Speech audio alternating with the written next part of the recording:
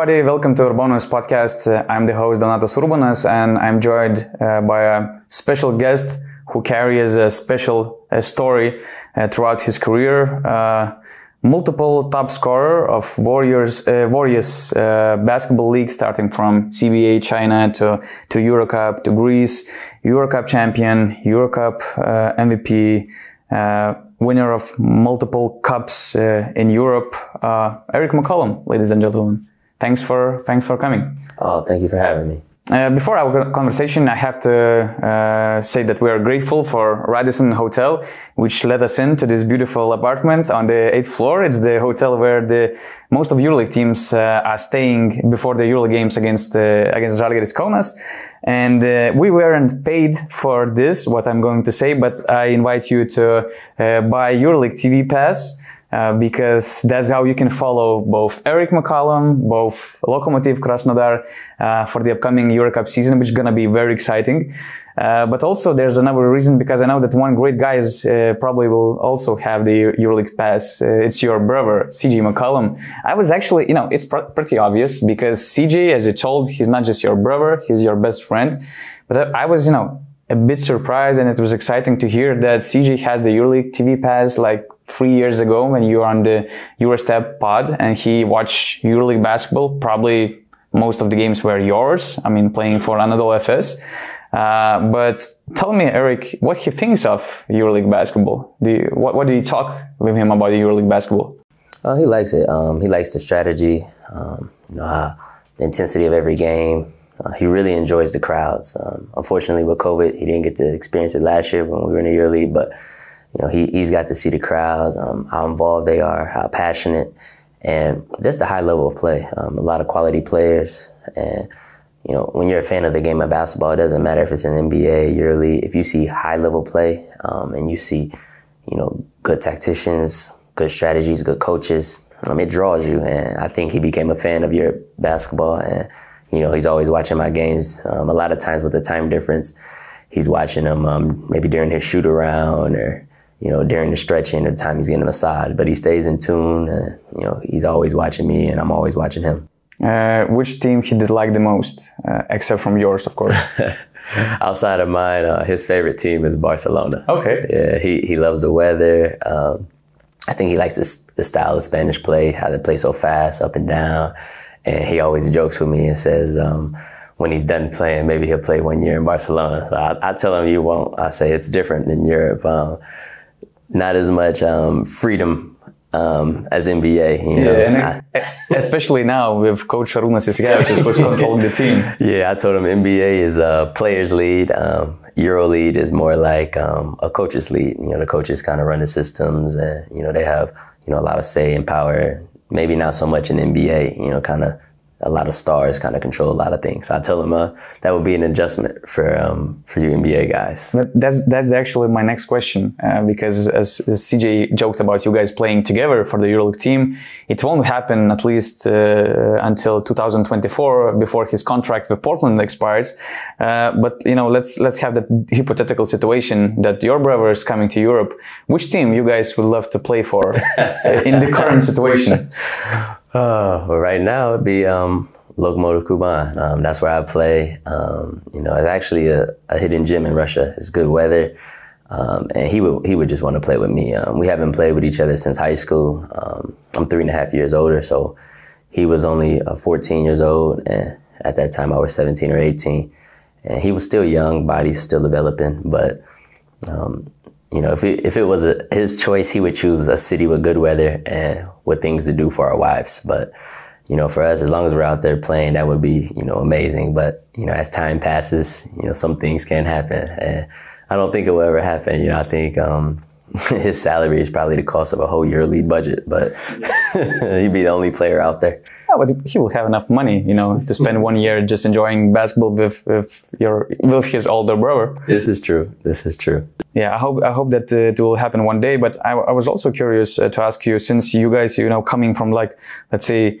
a family of scorers, you know. Uh, pure talent of, of scoring the, the ball. Who did you like the most, or who do you like the most in the EuroLeague among the scorers? Who do you consider the best scorer in the EuroLeague at the moment? For this season? Uh, yeah, for at least for the um, current seasons? Mm. Um, well, I would say, I mean, for this season, a really good score I think is uh, De Colo. Um, mm-hmm. He's a guy who who doesn't need a lot of shots. Um, he's smart at drawing fouls. He can use the pick and roll. Um, he's good in the ISO situation against the big. Um, scores in transition. Um, I like his efficiency. You know, he's oh, yeah. a guy who's going to shoot a good percentage from the field. He scores a lot of points, but the team still stays involved. So he's a guy that's always has a chance to win a scoring title, and he plays the game offensively um, very impressively. Um, another guy who's a really good scorer. Um, um I like guys who can score, you know, three or four different ways mm-hmm. from the three point line, from the mid range, inside the paint, and from the free throw line. I think when you can do that, you're very hard to guard just because in the yearly teams try to take away, you know, what you do best. But if you can score an amount or two of ways, um, it makes it extremely difficult to stop you. Um, another good scorer is um, uh, Shane Larkin. Oh yeah, uh, he's explosive. He's extremely fast. Um, he can get to the paint. He can finish left hand, right hand. He has a good floater. Um, he can shoot the pull up off the jumper. Even though he's small, um, he gets good elevation. Um, shot, plays pick and roll. So, I mean, to me, those two are like probably the best scores that I enjoy watching, and they're both efficient. Um, you know, a lot of people see points.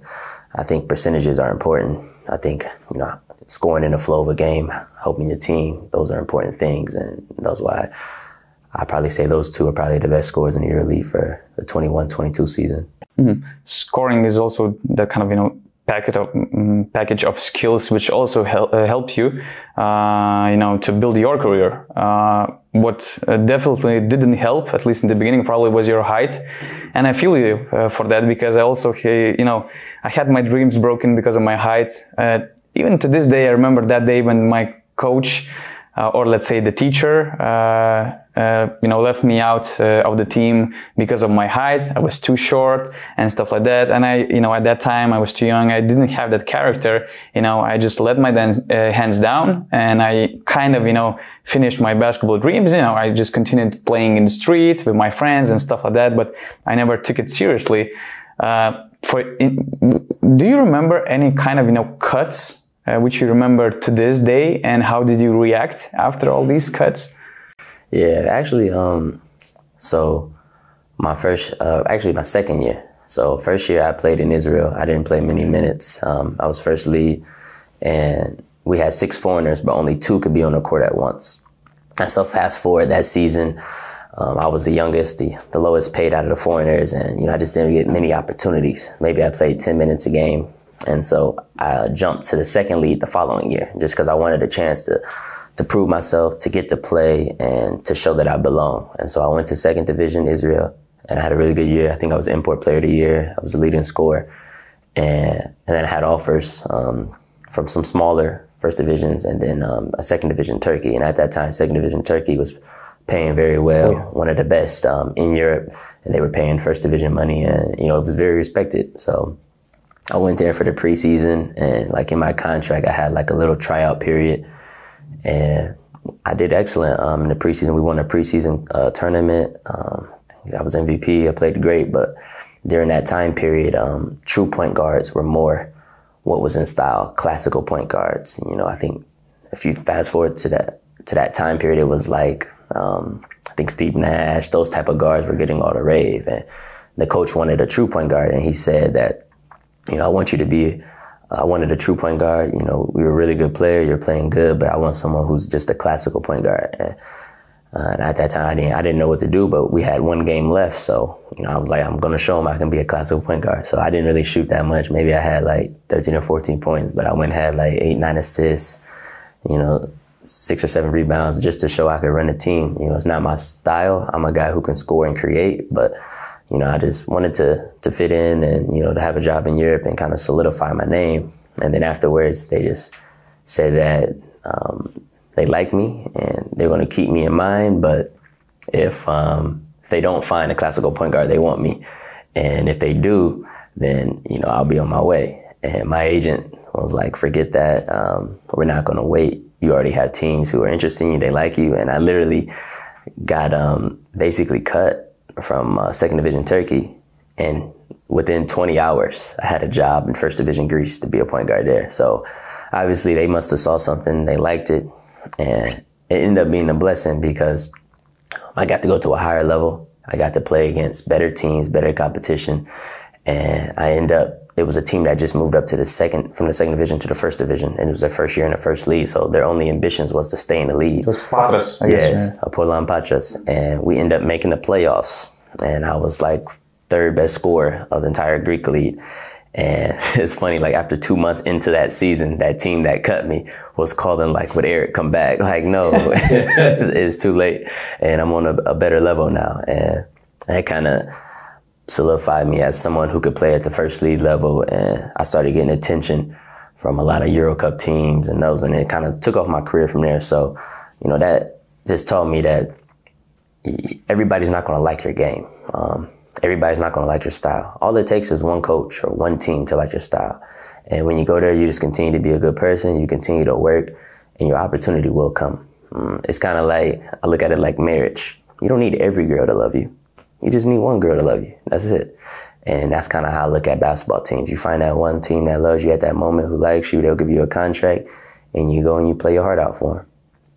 Yeah, it was it was a, a good lesson. I actually also had the question because probably you know, it was your rookie experience in Europe. You were playing for the Israeli team and you played like only six game, uh, minutes per game. I, I, was just thinking, you know, what went through your mind, you know, uh, you, you came from the division two, uh, you started your career in Europe and this, this is how it starts. I mean, uh, do you remember? I mean, where you, where you at? What were you thinking about, about your future probably? I never forget it. Um, it's what drove me my whole career. Um, I had times where I had doubts. Um, I was unsure. I was thankful I had graduated. I had my degree in business, and I was thinking like, maybe basketball's over. Maybe I'm gonna have to get a job. Maybe I'm gonna have to work. And you know, my my parents prepared me. Um, they pushed academics just to make sure that you know you have um, other um, opportunities outside of basketball. Um, obviously, you're gonna work hard. You're gonna do everything, but you're not just a basketball player. You're intelligent, um, and you can be successful in whatever you do. So that was pushed on me early on. So I knew I could be successful. I just didn't know if basketball was going to be the route just because I wasn't given an opportunity. Um, I always believed I was good enough. I was talented enough, but you know, sometimes as a young player, you don't get those minutes. You don't get to play. And maybe you deserve it through your work ethic, maybe through your actions in practice, but sometimes it just doesn't come. But you just have to keep working. You have to keep pushing. You have to keep pushing. And eventually, uh, I don't know what the basketball guys, I don't know what, but eventually your moment comes and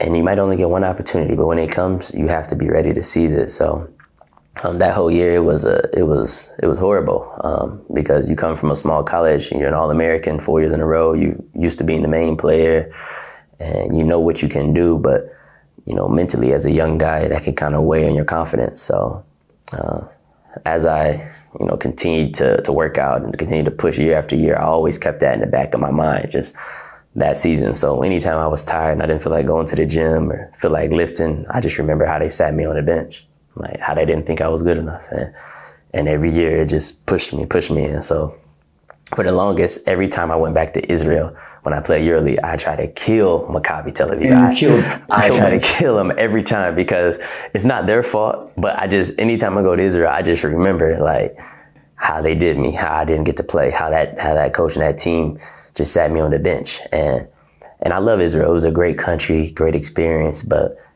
I just like, I always want to beat their team. I want to win. And, and that was kind of my mindset. And I try to carry that with me against every team because um, at any moment your career can change. Um, you know, you can go from one year playing and playing great to one year not not playing, and people start to question you. So, luckily for me, it happened early in my career, and you know, it created a mental toughness, allowed me to know that I can go through anything. You know, because sometimes you have to go through adversity to realize what you're made of, or to realize, you know, what you're capable of every time I come to Israel, I take it personal. It's, it's your quote after your career high game against Maccabi. You played for Anadolu Efes. You scored 31 points and you just destroy them. Yeah, it's, it's just crazy. And it, it also comes, you know, you, you, you mentioned a lot of very important things. And I, I have a quote of your probably you know who, who is the author uh, of, of this quote. I wouldn't be in the position I'm today as an NBA player if Eric didn't push me to work hard and to take not only basketball seriously, uh, but academics too. And uh, you mentioned you, you, always had that motivation. You have all, you were always determined and you always had that discipline. And for example, uh, I asked a few people, for example, from the last uh, season, and they told that in, in Khimki, every day off, you had something like a shooting routines in in Loko you also impressed people um, the way you approached the tests and because it was not just you know some regular test for you you wanted you know to, to hit the highest score or some physical uh, results and it tells a lot uh, about your dedication uh, for what you do. And i i was just thinking you know as a as an older brother uh, who set an example for you the way how you know how do you, how do you need to achieve something? How do you need to you know to seek something? And who was your example?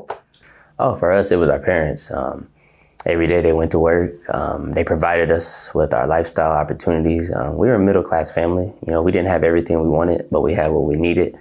And when you see them working and pushing to provide a lifestyle for you um, it's motivational because you see that some days they don't want to go to work or some days maybe they're not liking their job, they don't have a good day, but you know, they got two kids, they got to. And so when you see that every day, every night, like you want to make sure that you put yourself in a position to provide yourself um, or your future family with the best lifestyle you can provide. So just seeing my parents push us. Um, mom was big in basketball, but she was huge in academics. And, you know, our parents divorced when we were young, but, you know, she instilled that mentality of you know, handling academics, handling school, and then whatever you do, it didn't matter if it was football, basketball, baseball, track. Um, you put forth all your effort into it. You be the best you can. And the same with my dad. Like this is a guy who, you know, when I was in college and he would call me and he'd say, "What are you doing?" We have our conversation, and I'm like, um, I'm about to go to this party with my teammates, my friends, and my dad's like, "A party? What are you celebrating?" did you graduate college? I'm like, no, I'm, I'm a sophomore, dad. I have two more years. Uh, uh, did you win a championship? I'm like, no, like we still in the middle of the season. Like he's like, the party's more fun when you're rich. Mm, and he would be like, go put your work in. So like for me, I still enjoyed my life, but when he would say that, I'd be like, I would feel bad. So I'd go to the gym immediately and go work on my game. And then after that, then I'd go hang out with my friends. And so like early on, it was instilled in me to to have fun, to enjoy your life because you only have one. But before you do that, handle your responsibilities, handle your, your goals, your dreams. And, and then as a growing older brother, I knew that CJ would follow whatever I did. You know, he looked up to me. I knew if I took, um, a bad step, he'd take that same step. So like I was very cognizant of, you know, making sure I set a good example because I knew whatever I did, he would copy. And so we would get up, wake up, go work out, you know, we finish our homework, um, do all those type of things. And, and I think it just, it became a habit. When you do something over and over again, um, it just becomes natural. You don't even have to think about it. So like waking up to go work out early in the morning, like at first it sucks. It does. But then after a month, after two months, after a year, after two years, it's just what you do. It's like brushing your teeth. It's like tying your shoes. You don't even have to think about those things. And that's kind of how academics and basketball became for us. Was CJ an irritating young brother? Because as I said, you know, three and a half years and, you know, I have, my wife has three brothers and, you know, it's, it's like, you know, ask one of them, you know, to, to take the youngest one to the outside and it's like, come on now, he's, he's too young, you know, I want to hang out with my friends. What do you remember about that kind of, you know, brotherhood? Oh yeah, it was, um, he was annoying, but I loved him. Um, I, I wanted to like go play with my friends. A lot of my friends, some of them are older than me. So like, if you think three, four year age difference, this is pretty big, especially like for size, um, maturity level, all those type of things. And I would try to go play and I would try to make him stay inside. And my mother would say, um, if he can't go, you can't go. So like she basically made me take him. And so years I'm just taking him and I didn't want to take him. I hated it, but I would take him with me because if I didn't, he couldn't come. And then if I didn't let him play, he would go tell on me. And so eventually we let him play and he wasn't very good at first because he was so much younger, so much smaller, um, just didn't have the physical, um, maturity that everyone else had. And it's expected when you're four or five years younger than everybody. And but since he was playing with people older than him, eventually after time he started to get better. And then it got to the point where we wanted him to play or we wanted him there because now he was no longer a bad player. Now, okay, he's okay. And he just kept growing. And I think that's why he improved so much just because he was playing against bigger, stronger, older, faster kids. And it forced, it forced him to improve, um, and to develop quickly. Four years after, uh, being kind of, you know, cut from the second Turkish division team or like that Israeli rookie experience, you score 82 points. Uh, how did the next day uh, look like? What did you do in the next morning? Uh, it was I, I, again shoot around or uh, I was tired, so I think I had to. Your wrist off. was tired, probably. legs, everything, like all your body, everything. But I think um, I had the day off. Um, uh, I think my social medias were going crazy, notifications, um, interview stuff. Like people were calling me friends, and uh, they were asking me if it was real, and I was like, "Yeah, it was real." And how did you do it? I'm like, "It's an out of body experience." Um, you, know, you just get in the zone. Uh, you're hitting shots. Your teammates do an excellent job of setting screens, getting your ball in the right spots, and you know it was just one of those days that you probably can never relive. I don't know. Like I don't know. I think you could go out and try to do that, and I don't know if it's possible. Like it just has to be a day where everything's just going in. Uh, and I'm a guy who scores in spurts. So like if I see the ball go in once or twice, um, it I don't know, but the basket just gets bigger for me, and I can score more and more and more. But um, maybe maybe a lot of scores feel that way, but it's just it helps you get in the rhythm, helps you get in the flow, and I literally uh, probably the best the basket ever felt.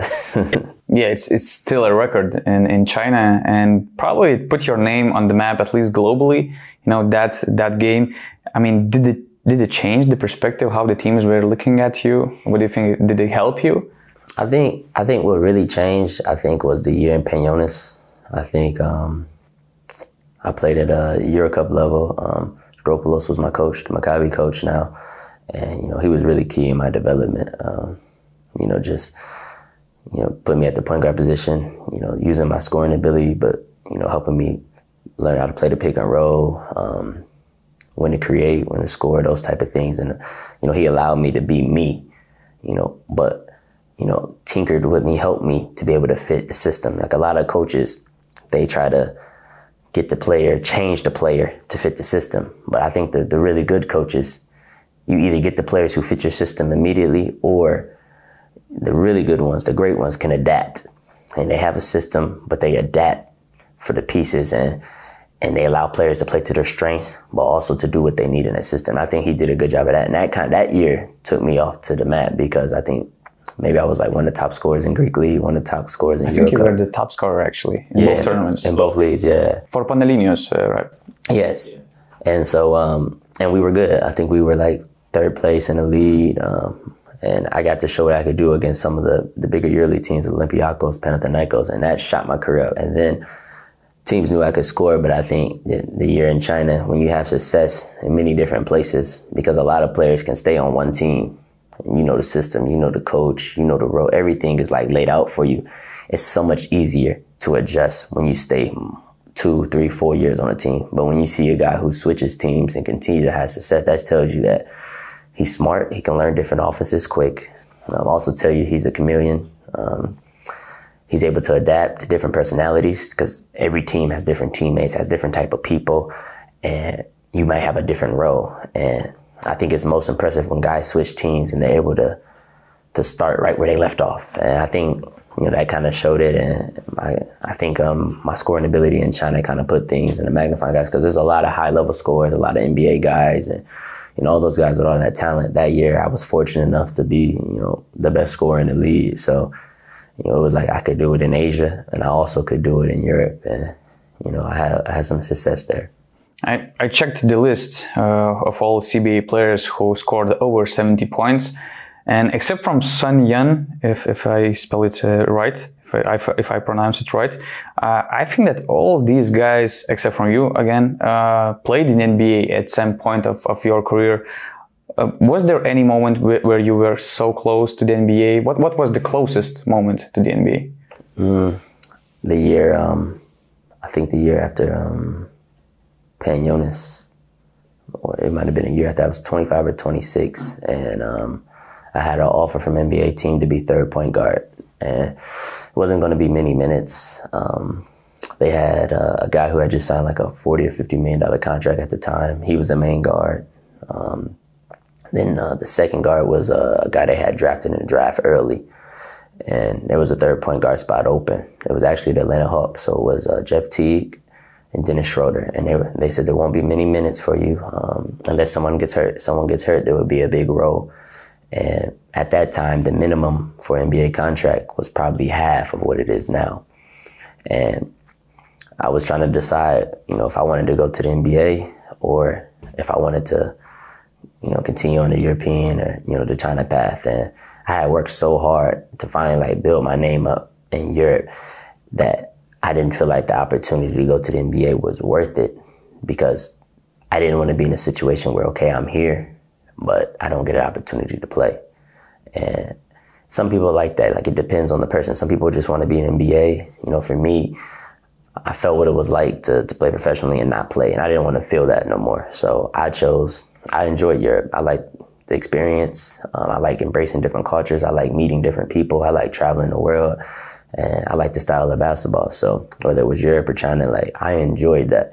And I turned down the Hawks. And uh, I mean, I went to China that year, and um, I mean, the salary was probably four times, four or five times what the NBA was offering me because of the taxes and stuff. But um, it wasn't even just about the money. Like I would have took less money if there was a role for me. But in the third, in the third point guard in NBA doesn't play like DNPs, and so like how can you even show that you're worthy of playing in NBA or that you can maintain not beyond this season? So you don't want to play in NBA for one year. You want to play many years. So how can you show if you don't play?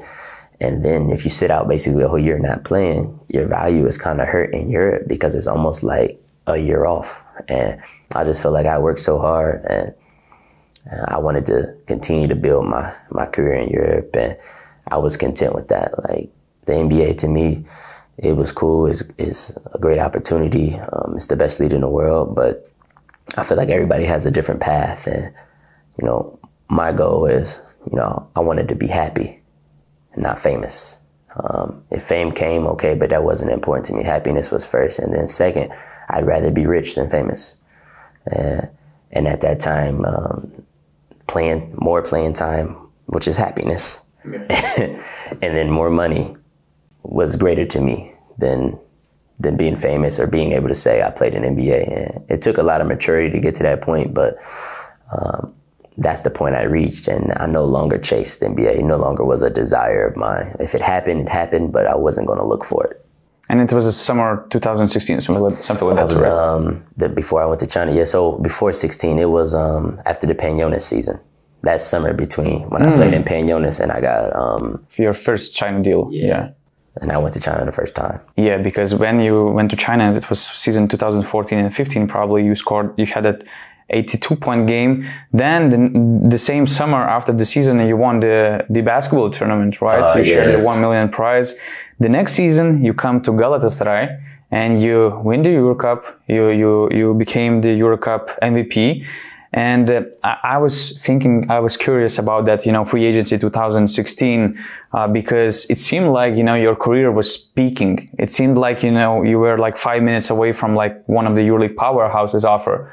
Uh, after two very successful seasons, and you went back to China uh, again. Uh, do you remember what was your free agency situation? Because you know many people say that time it's sometimes it's all about timing, both in the NBA and in the EuroLeague too. You know, it's, it's the matter of, you know, uh, being on the right time and the right place. Uh, and sometimes it helps to boost your career. And for me personally, it's just my personal opinion, it seemed like the timing was 2016. Mm-hmm. And as the EuroLeague fan, I, I, would have, you know, I wished you, you played in the EuroLeague, but you went to China. mm-hmm there are no regrets about your career. That's for sure. You know, you, reached a lot. Your journey was special, but were there any specific re- regrets about that specific summer talking about your potential in the EuroLeague?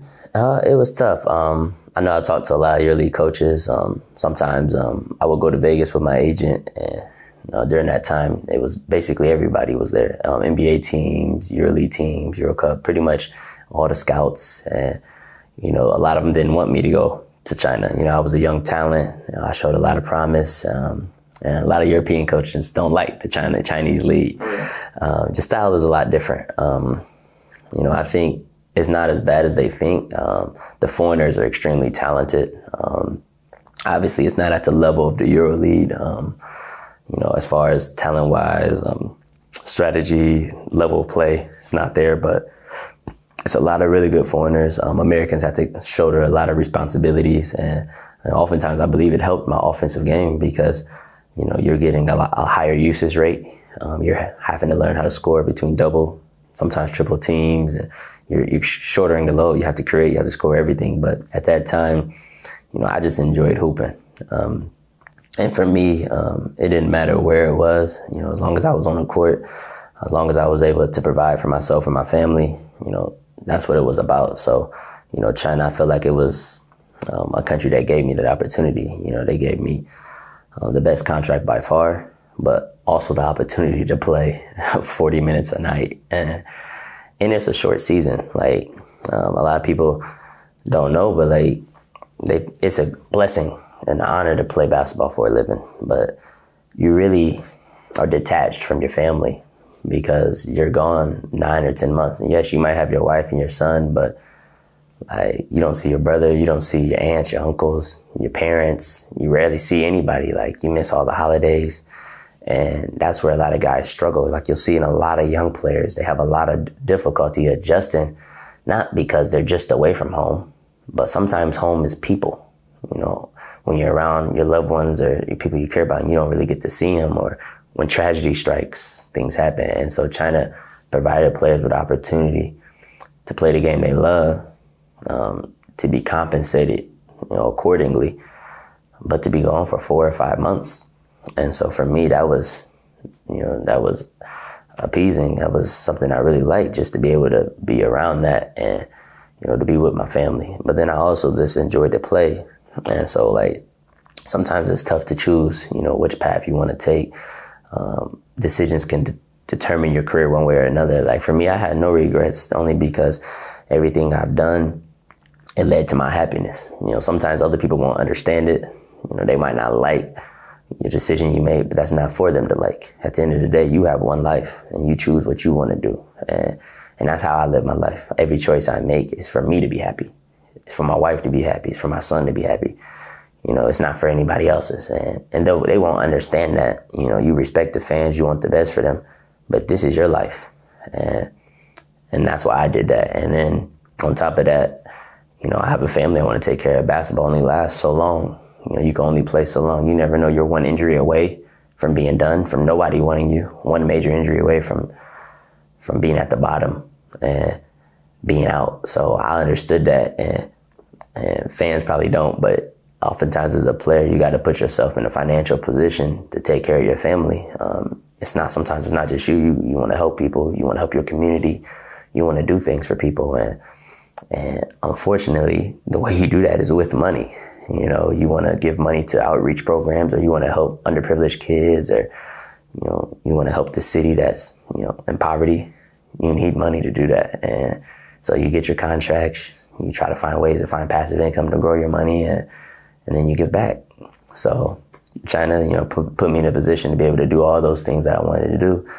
And, you know, I don't regret it. If I could do it all over again, I'd do the same thing because I still was able to play at the EuroLeague level. That was a goal of mine. I came from an NAIA school. I'm not supposed to be here. You know, I, I see guys who came from big schools, who played in NBA, and I'm still here, you know, and that's just, you know, a blessing from God. You know, it shows that, you know, I'm blessed. It shows I worked hard and I've done things the right way. You know, I played at the EuroLeague level. I played in China. I was the only guy who wasn't in the NBA in China. Like, and it just shows that sometimes it's not about where you come from. It's just about, you know, if you're dedicated, if you work hard. I'm not big. You know, I'm not six six, six five. Like, you know, I'm 6'2", 188 meters. And, you know, everything I do is through hard work.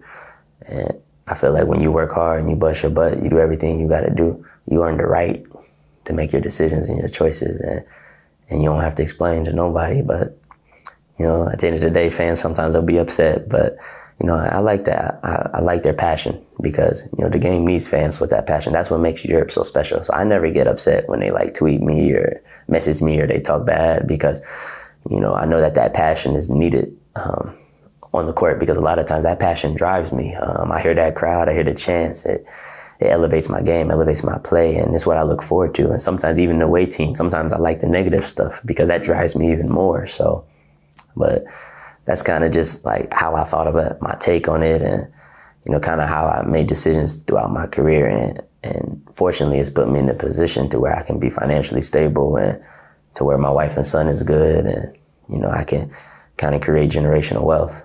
Yeah, and as a small kid, I loved players like you are right now. These, you know, short guys with that big passion and just destroying defense and you know winning titles for for their teams. Do you remember who were your idols, uh, for example? Yeah, my favorite player was Allen Iverson, um, just because I loved Michael Jordan, I loved Kobe Bryant, but like they had physical attributes that I didn't have. Like it's one thing to love a player. You can love LeBron James, all them, but as a as a kid, you can't dunk like that. You can't jump like that. You're to relate yourself to somebody which at least looks like looks you. Like yeah. yeah. So like, I tried to watch someone who was you know similar height, um, who was uh, slim, who was skinny. Uh, you know, if he could be successful, why couldn't I? And that's how I thought as a kid. Like you know, I always tried to be positive, and I always try to find the good in something. So you know, you got to find someone who has your similar game or your body type. I don't care if you're a little kid. I don't care if you're a young player in Europe and you're trying to get to the EuroLeague. Find someone who plays like you or who has your frame. Watch the game. You know, see what they do because there's something they do that European teams covet, that coaches covet, and then you know, take parts of his game, you know, continue to be yourself, be your player, but take little things that they do. And that's kind of what I did. And so like with Iverson, that's how I learned how to score because I just watched, you know, how he continued to draw fouls, how he was really good in the pull up in the mid range area, how he would get in there in the lane with the big guys and shoot the float over them. And, you know, I just worked on those things because I figured, you know, he's a smaller guy and he has to use these type of moves. You know, maybe I am. And then I really worked on my handle, um, just to be able to kind of get space when I want it. And, and, then, you know, you kind of tweak it a little bit when I came to Europe. Um, a guy I watched, um, people probably maybe don't remember, but like he was at Panathinaikos, uh, David Logan. You know, he he was skinny. Uh, he still can, he still is scoring in Italy. Yeah, yeah he was one of the top scorers the last season. Crazy. Like, I don't know how old he is now, but I mean, he was a guy who could really score. And so like, I don't just watch guys who are just really good. Like I tried to watch guys who I felt like maybe I could do something like that, or maybe their body types are like mine because it translates better. And, you know, you watch those guys, you learn, you pick some things up and you see some things like even little things like you watch Spanoulis, he always go opposite of the screen. So like I tried to like learn that for my time in Greece. That's where I really learned how to draw fouls from, from playing in Greece because they're the best at, at drawing fouls. But, you know, every place I played, you know, you made a player, I tried to take, you know, a little something from this player and, and it, it really helped me. But Allen Iverson was the base, you know, of everything that I watched to try to you know, I guess develop that scoring instinct. What did you learn from coach uh, Ergin Ataman, who you played for like in Galatasaray for two times, and then in Anadolu Efes uh, when he probably replaced Velimir Perasovic, right, during that season 2017-18? He's the most confident coach I've ever met, and like, it's it's a good thing because it rubs off on all his players. Like he's always cool, calm, collected. Like he believes he always has the best team and he believes he has the best point guard, the best shooting guard, the best small forward. And he'll tell you, I could have signed him. I didn't want him. I chose you. And so like when a coach shows that like confidence in you, you kind of want to go show him like, yeah, yeah I'm going to show why he chose him. Like he's just, he had, he's charismatic. Um, and, and when you believe you can do anything, like you can't, like he'll, he'll, not many coaches will do it. He'll come out and tell you, we're going to win the Euro Cup we're going to win the yearly. Like he said that when I was at Galatasaray and we won it. He said it uh, last season really, with yeah, Yeah. And so like when you feel like a coach, he believes in you like that, it's just different. And he gives his players freedom. So like he's really good at picking the players. Him and his assistant Yakup, they pick the players. Um, and it's guys who fit, you know, together, but also in the system. And then he lets you play. Um, you know, and that's the thing. A lot of coaches, they sign you and maybe they try to control things, but he has the confidence and I'm going to sign the player and I'm gonna trust sometimes to allow him to make decisions on the court. I'm gonna trust him to make choices. And and when you give um, good players freedom, um, their talent goes to another level. Like I mean, you've seen it. Um, Micic was a solid player as Zalgiris, but when he got to Efes and he got that freedom, and we never saw that coming. Actually, really, it, it, that freedom is different. When you get that confidence behind you, and then the freedom to make mistakes, the freedom to miss shots, um, you will see players really take off. Now you can still be good, you know, in a structured system or you know with less freedom, but you have mentally you have to be incredible because you know, in a yearly sometimes you start the game over for 2 you know, you're just subbing out, you know. So like when you get to play through that, you're going to see a different type of thing, like a different type of aura and confidence in players, and you're going to see them start to blossom, especially younger players because they struggle with confidence more than anything. But you want, you, you know what makes me sad that he didn't keep you uh, for the next season in, in Efes because, you know, since he knew you from Galatasaray, you know, I was not like sure, but it would be very logical for him, you know, to keep you. Of course, Rodrigue Beaubois or Shane Larkin, they're hell of the players. Uh, but, you know, do you remember anything about that summer 2018? Uh, maybe you also had, you know, kind of the same uh, belief that he might keep you, you know, for the another year. You were the top scorer of that team uh, if I'm right. Yeah, yeah, you were the top scorer of the Efes. Well, you never know what's going to happen. Um, like sometimes in organizations, sometimes coaches make decisions, sometimes boards, sometimes presidents, sometimes GMs. Like you never really know. And um, I think they just wanted to kind of uh, shake it up, yeah. kind of clean house. And for me, like, I mean, it's basketball. Like I understand every time you play, you really have to go in with the mindset that it's year to year you know, especially in Europe, you could sign a two, three year deal. And my mindset is always is year to year. Like you would like to be somewhere multiple years, but I just know how things can change and twist. I've seen guys sign two, three year deals and I've seen teams try to get out of contracts. I've seen teams try to make you practice three times a day. Like this is my 12th season. I've seen a lot of things maybe uh, things that maybe not too ethical, maybe things that they try to force a player to maybe take less money. But if you sign a contract, you know, most players are going to stay and fight. It just depends on the situation. But, you know, for me, like, um, I enjoyed my time with Ataman. Like, you know, we won championship together. Um, you know, he helped make me a winner. Um, I have no no no problems with him. I wish him the best. You know, sometimes we still talk, and I, you know, when they're making their runs, and you know, I'm wishing him well, him and Yakup, because anytime you win something with a coach, you always have a, a special relationship with him, um, and it ended up being good for us both. You know, I ended up going to UNICS. Uh, I had a two year contract there. You know, was I was fine. I was pleased with the terms, and I enjoyed my time there. And and they had a good season. I think that was the year maybe the season was cut short because of COVID, mm-hmm. but they had played really well and you know, in basketball, you just you you can't be sentimental. Like you got to understand this is business. You know, sometimes you're gonna be with a team, sometimes not. Sometimes they go different direction. And for me, I never really, I never, I never get emotional. Like I know, like I said, all you need is one team to want you. And as long as you got one team to want you every year, you'll always have a job. This this year, Lokomotiv was the team which really wanted you. Uh, what are your goals for? Which is actually interesting for the fourth season in a row in Russia. What do you like about Russia that much, and what uh, what are your goals uh, with Loko? I don't know if it's I like Russia, Russia likes me, but it's a combination of both. I think. Um, for me, like I'm from Ohio, so like a little bit of cold weather, the snow doesn't really bother me. Um, I've been in a lot of places that were cold. For me, it's just about if you find a place where you're appreciated, somebody wants you, uh, where they allow you to play your game, and where you can um, help a team win.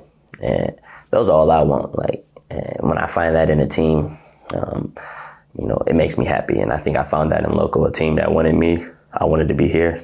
I was blessed enough to have good weather. So I actually chose a city in Russia with good weather this year. And it's a team with ambitions and goals. And um, Euro Cup's going to be tough this year. Um, Valencia is always a challenge. They keep the same core, really good players. Um, Obviously, Bologna, they've had the same team for two or three years. They're eager to get to the Euroleague. They have one of the best playmakers in Europe, um, Teodosic. Um, Partizan. Partizan. I mean, anytime you have Obradovic, you know, as a coach, you're always in the running for something. Um, he's just a great mind, uh, strategy wise, X's and O's, and his experience level. And they put together a strong roster.